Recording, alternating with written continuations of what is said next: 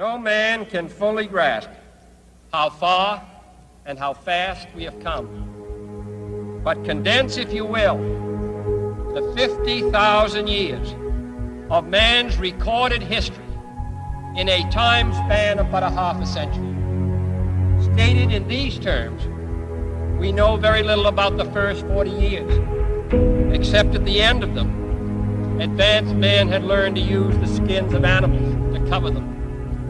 Then, about 10 years ago, under this standard, man emerged from his caves to construct other kinds of shelter.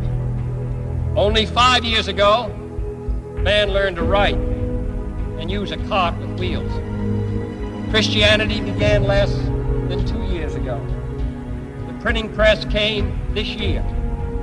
And then, less than two months ago, during this whole 50 year span of human history, the steam engine provided a new source of power.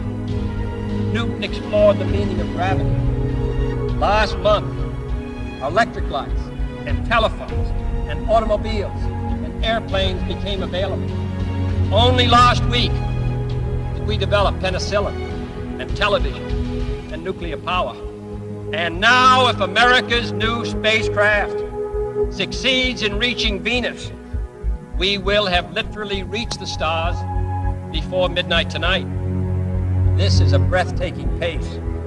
And such a pace cannot help but create new ills as it dispels old. New ignorance, new problems, new dangers. Surely the opening vistas of space promise high costs and hardships as well as high reward.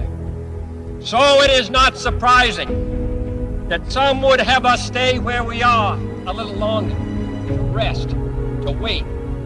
But this city of Houston, this state of Texas, this country of the United States was not built by those who waited and rested and wished to look behind them.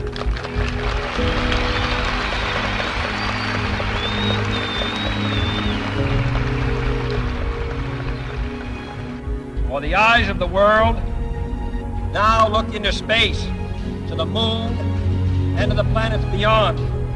And we have vowed that we shall not see it governed by a hostile flag of conquest, but by a banner of freedom and peace. The exploration of space will go ahead, whether we join in it or not.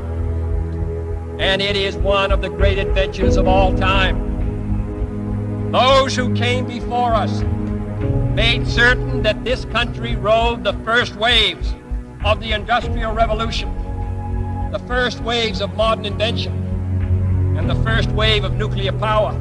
And this generation does not intend to founder in the backwash of the coming age of space.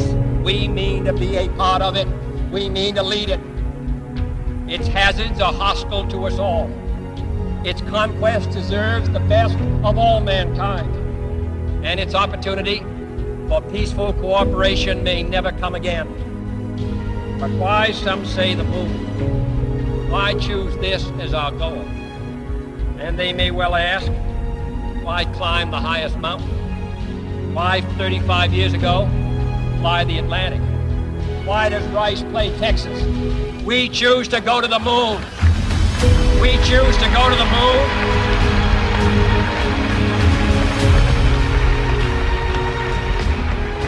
We choose to go to the moon in this decade and do the other things not because they are easy, but because they are hard. Because that goal will serve to organize and measure the best of our energies and skills. Because that challenge is one that we're willing to accept, one we are unwilling to postpone, and one we intend to win on the other side.